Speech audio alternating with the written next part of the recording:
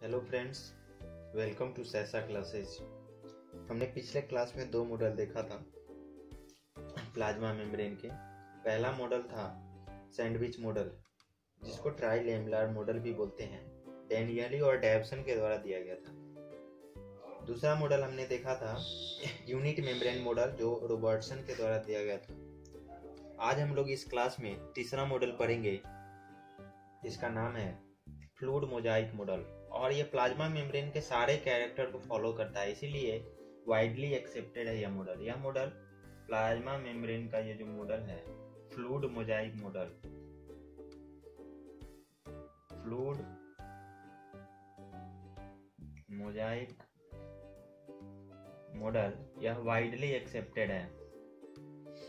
Fluid mosaic model जो है, singer और निकोलसन के द्वारा दिया गया है। सिंगर एंड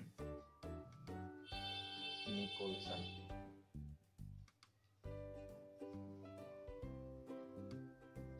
सिंगल और सिंगर और निकोलसन के द्वारा बताया गया है इस मॉडल में कि देखिए, हम लोग पढ़ रहे हैं प्लाज्मा मेम्ब्रेन का मॉडल किसका मॉडल पढ़ रहे हैं हम लोग?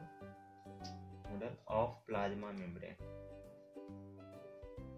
plasma membrane का हम लोग लास्ट मॉडल पढ़ रहे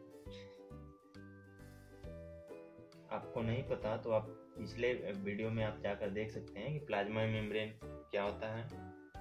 सेल का एक आउटर लेयर है ये, प्लाज्मा मेम्ब्रेन। मैंने पिछले वीडियो में सारा चीज़ बताया हुआ है। तो आइए शुरू करते हैं। सिंगर और निकोलसन के द्वारा यह फ्लूड मोजाइक मॉडल दिया गया था। इनके द्वारा बताया गया कि प्लाज्मा मेम्ब्रेन जो है, plasma membrane is made up of is made up of protein and and phospholipid. हमने इसके बारे में ज़िक्र कर चुका है कि प्रोटीन क्या होते हैं, कैसे होते हैं फॉस्फोलिपिड कैसे इनके द्वारा बताया गया कि इस प्लाज्मा मेम्ब्रेन में प्रोटीन अल्फ़ा ग्लोब्यूलर होते हैं। अल्फ़ा ग्लोब्यूलर प्रोटीन होते हैं और फॉस्फोलिपिड इसका स्ट्रक्चर कुछ ऐसा होता है। ये फॉस्फोलिपिड का ये हेड है और ये टेल पार्ट है। हेड जो है हाइड्रोफिलिक होते हैं और tail hydrophobic hydrophobic hydro means water philic means lover hydrophilic means यह वाटर लवर होता है हेड और टेल हाइड्रोफोबिक जो वाटर हेटर होता है। यह अपने से वाटर को पास आउट करने देगा हेड बट टेल जो है वाटर को पास आउट नहीं करने देगा। ये है फॉस्फोलिपिड और प्रोटीन ग्लोब्यूलर होता है। इनके द्वारा बताया गया कि प्रोटीन दो टाइप्स के होते हैं। There are two types of protein present in plasma membrane that is intrinsic protein intrinsic protein और extrinsic protein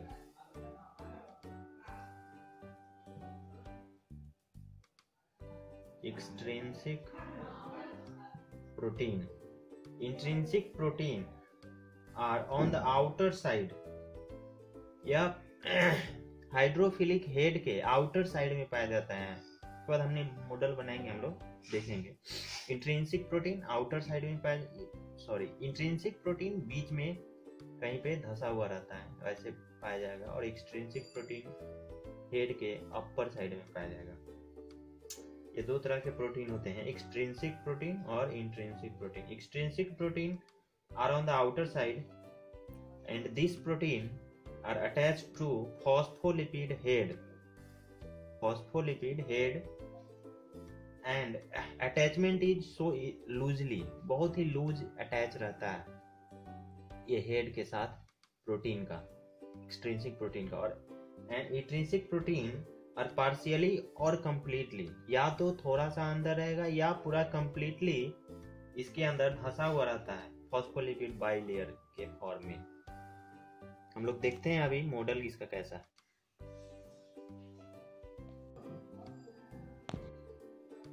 जैसा कि आप देख रहे हैं, ये फॉस्फोलिपिड है। ये हेड है, ये टेल है, ये सब फॉस्फोलिपिड है। ऊपर भी है और नीचे भी है फॉस्फोलिपिड।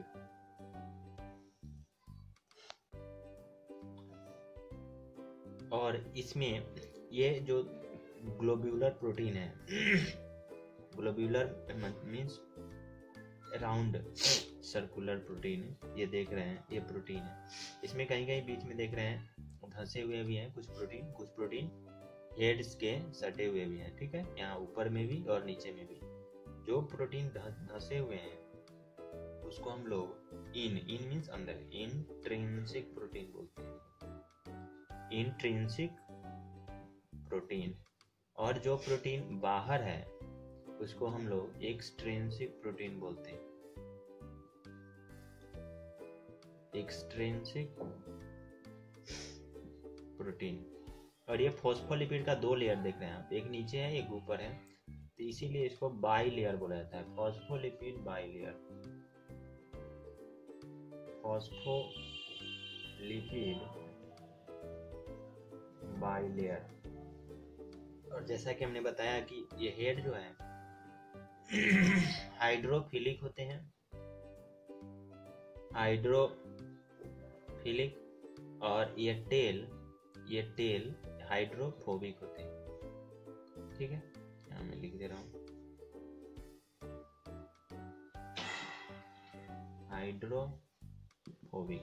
मतलब ये हेड हाइड्रोफिलिक है, देख रहे हैं?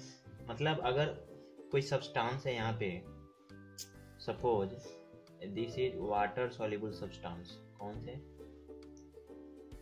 वाटर सॉल्युबल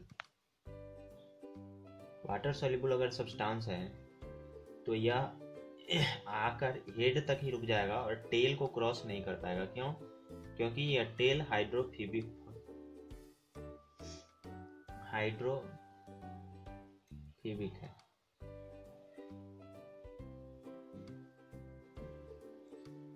क्योंकि ये हाइड्रोफोबिक है, ये टेल और ये हेड हाइड्रोफिलिक है। लेकिन अगर फैट सॉल्युबल सब्सटेंस है, ऐसा सब्सटेंस जो फैट सॉल्युबल है मतलब वसा में घुलनशील है तो ऐसे सब्सटेंस आसानी से क्रॉस कर पाएँगे इस प्लाज्मा मेम्ब्रेन को। लेकिन वाटर सॉल्युबल सब्सटेंस है तो क्रॉस नहीं कर पाएँगे। तो आखिर ये water soluble substance plasma membrane को क्रॉस कैसे करेंगे? तो इसकी मदद से। ये जो प्रोटीन देख रहे हैं इंट्रेंसिक प्रोटीन इस इंट्रेंसिक प्रोटीन की मदद से वाटर सॉल्युबल सब्सटेंस क्रॉस करेंगे। ठीक है?